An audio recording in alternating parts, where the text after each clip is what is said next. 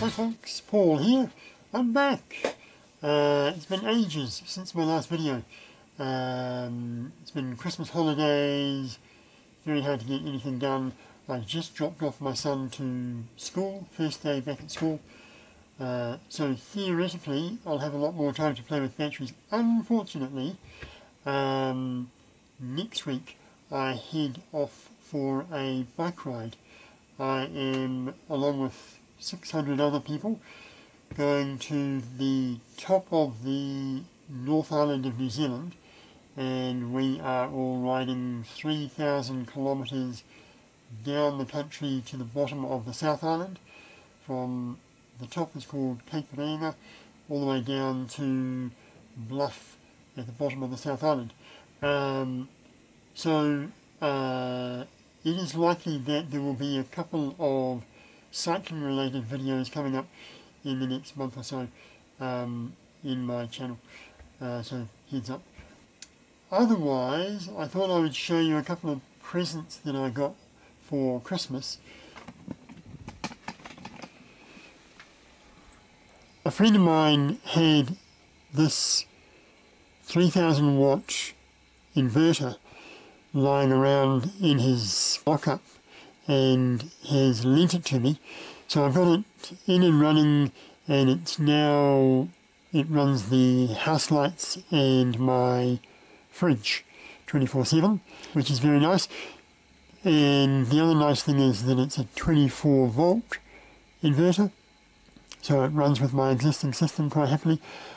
But the implications of a um, 3000 watt system running at 24 volts is that it has the potential, should I try to plug too many things in, to draw up to 100 amps or so and all my feeble wiring and bits and bobs are nowhere near up to that kind of load.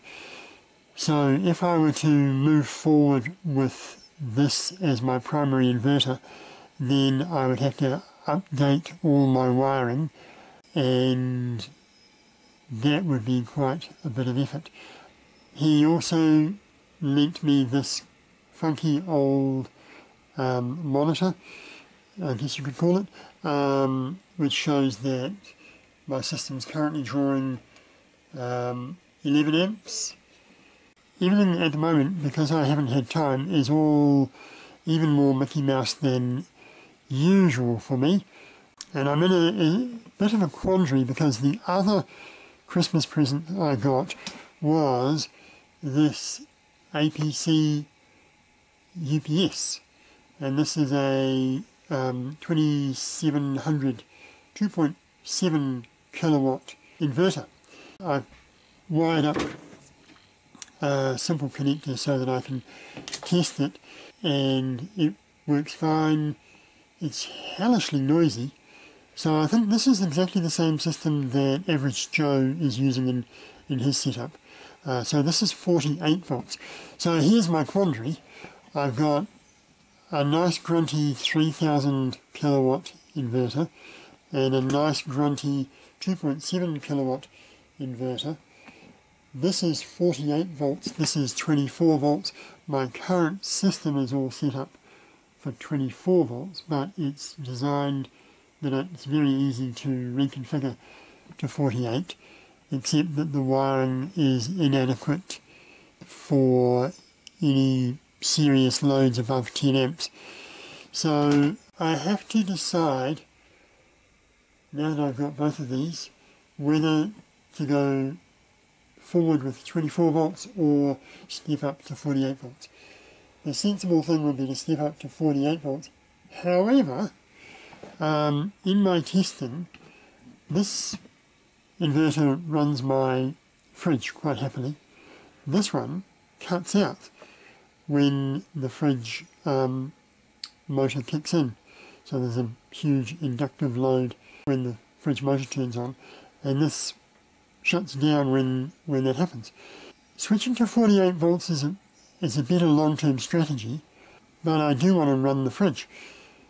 So one possible scenario is that I switch to 48 volts. I buy a new fridge that is more energy efficient that will run off the the um, UPS inverter and also maybe a new clothes washer because that also has too high a startup load and maybe also a new dishwasher. But they don't have to be brand new, I can buy second hand, but as long as they are more efficient at their startup. Um, but that does imply a hell of a lot of mucking about just to move to a, a nicer inverter scenario. So um, I still haven't uh, quite worked out what I'm going to do there. So that's my general update. I will probably post a few videos about cycling over the next month. They'll have Tour Aotearoa at the, in the title, so you'll know to either hunt those out or avoid them if you're only interested in batteries. Otherwise, thanks for watching and catch you later.